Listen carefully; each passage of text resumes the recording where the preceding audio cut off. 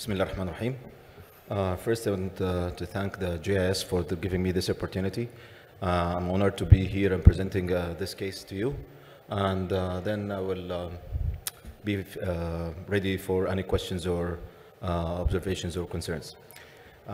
This case was done just a couple of weeks ago.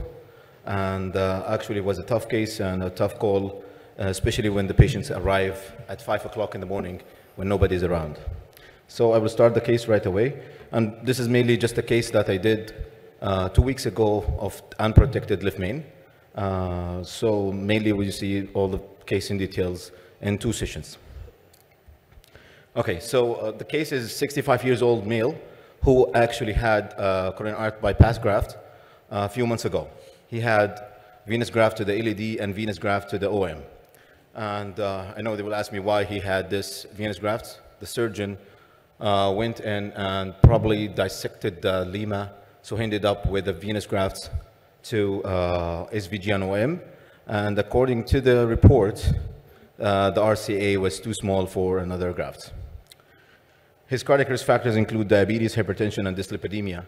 He was never smoked. His ejection fraction was 45. That's after the bypass graft. It was normal before and uh, ended up with the ejection fraction of 45% after the procedure. The patient was okay, stayed in the hospital for a week, and then sent home after that.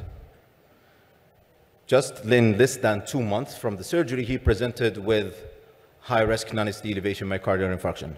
He immediately was admitted to the CCU, and over the first two hours, he started to deteriorate. His blood pressure started to drop and develop pulmonary edema. At that time, bedside echo showed ejection fraction of 25% with severe mitral regurgitation. I don't have the echo at that time because it was done just at the bedside uh, to see what's causing his hypotension. This is an ECG, ECG which you can see diffuse ST depression uh, all over uh, the leads. So the patient was taken to uh, the cath lab.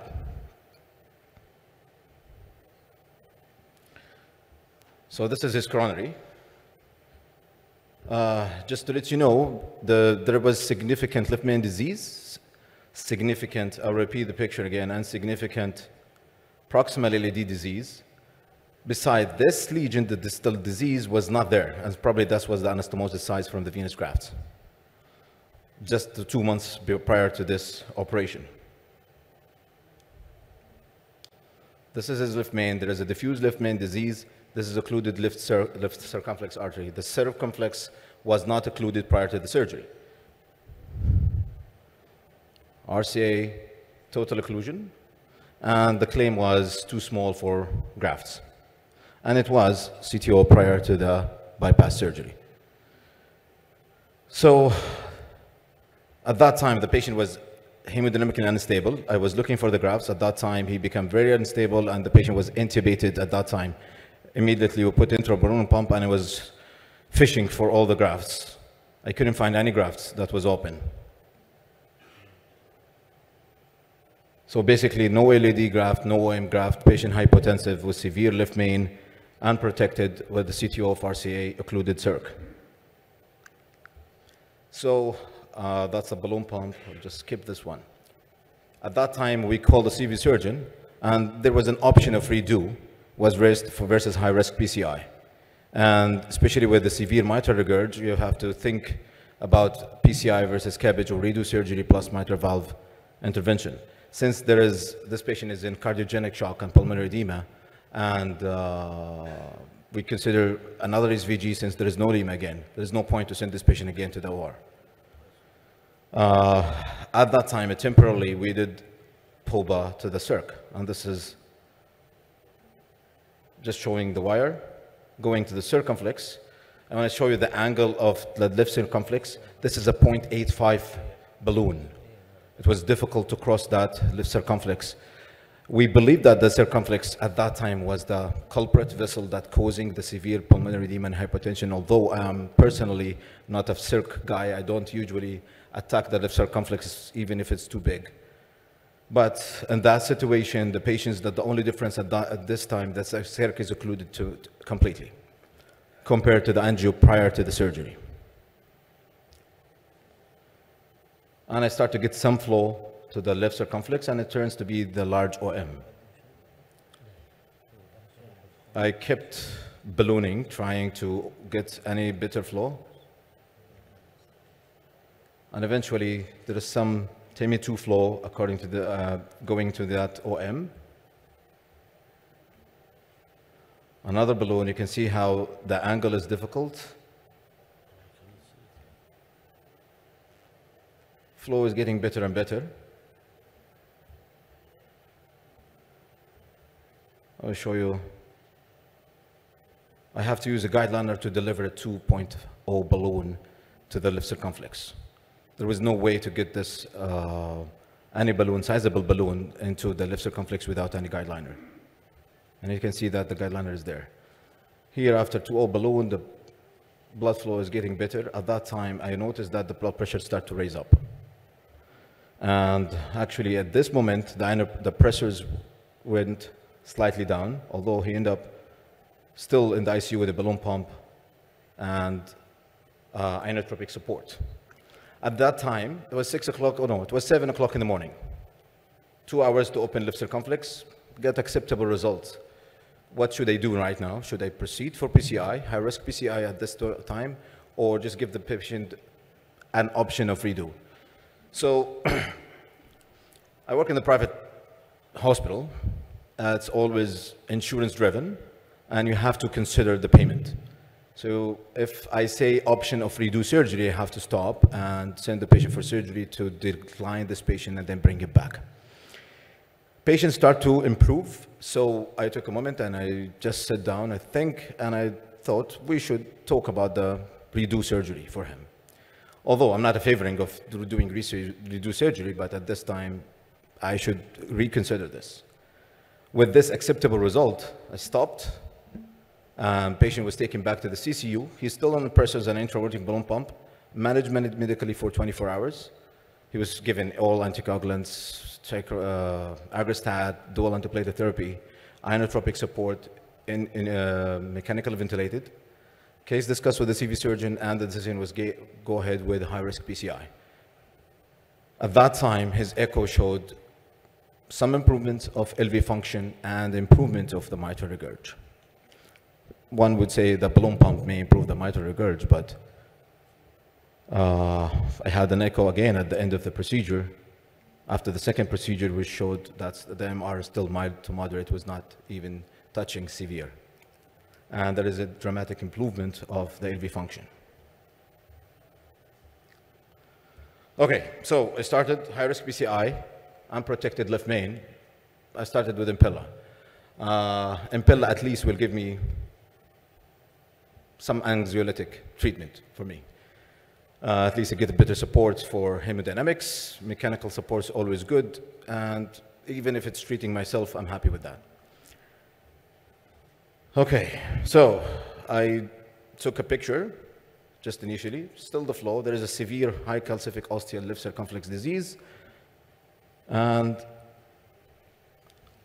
severe mid to proximal LAD up to the ostium involving the left main. There is a distal LAD disease.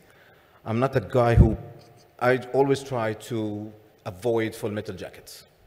In this situation, I was thinking maybe the LAD will get him full metal jackets, but I will show you what the end result is. I wear both vessel, LAD and circumflex, and for me, there is a flow to the LAD, uh, the, sorry, to the circ. So I, we had multiple options. Should I go and hit the, hit the circ, LAD left main, and then deal with the distal left LAD? Uh, I had a patient a few months ago, similar situation. I left the mid to distal LAD. The patients had severe ischemia during the procedure and arrested. So I decided to treat the mid LAD first. I have a wire in both vessels and then I will end up with a circ, and then I'll do the bifurcation of the left main. So I treated the LAD. LAD was not that difficult. Pre-dilatation, and then I dropped two stents.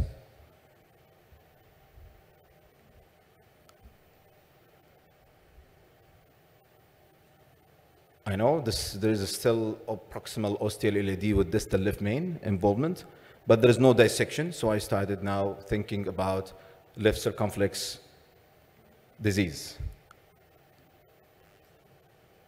Uh, so you can see here there is approximately LAD up to the prox tight ostial LAD up to the mid body of the uh, left main, very tight left circumflex disease. So I decided to go with DK crush for the left main. This time I didn't need the guide liner. The balloon went down. I used multiple balloons, probably eight balloons. One of them was high pressure balloon, which inflated to 34 millimeter mercury for the ostial left circumflex.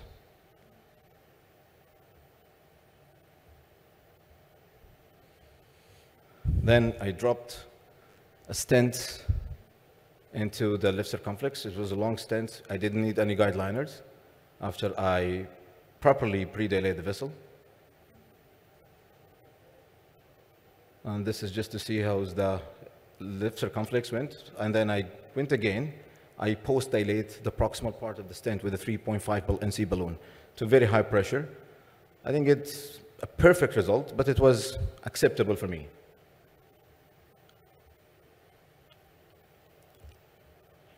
Then I crushed it no wire in the left circumflex, crush that stent. This is just the tube projection for the same inflation. I cross and I did uh, kissing, which was the first kiss. And then that's the end, that's the result after the first kiss. Lady, you start to see good flow. I still I was not sure what to do with the distal disease at that time. But I said I will deal with it at the end. I dropped another stent, LAD back to left main. It was 4.5 stent from the LAD to the left main.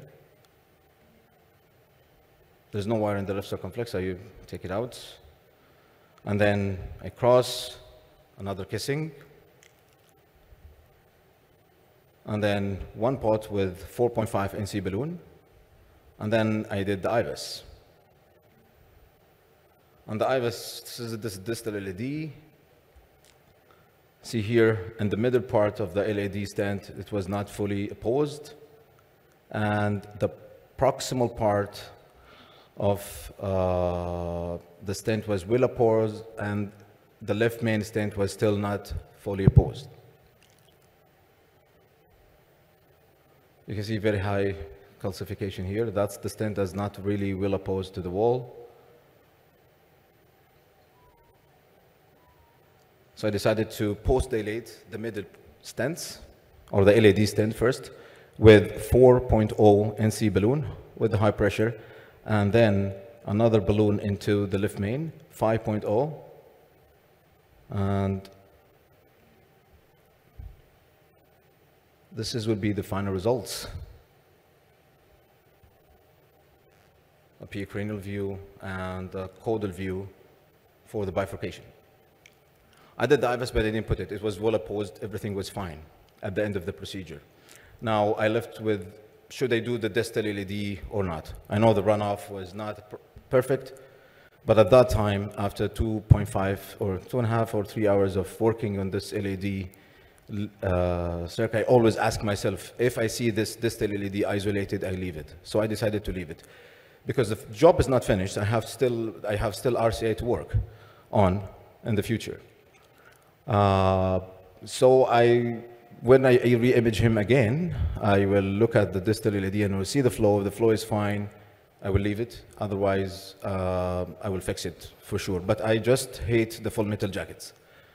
Uh, that would be the end of result. The, the patients, this is ECG after the PCI, which we showed that dramatic improvement, even the LV function is better. Now LV function is about 35 maybe percent. There is no significant MR. I mean, there is no severe MR. There is still at least mild to moderate mitral regurgitation, but there is no severe MR. Patients back to the CCU within 48 hours. He was off presence completely, extubated, before discharge, we were able to start anti-failure medications on him.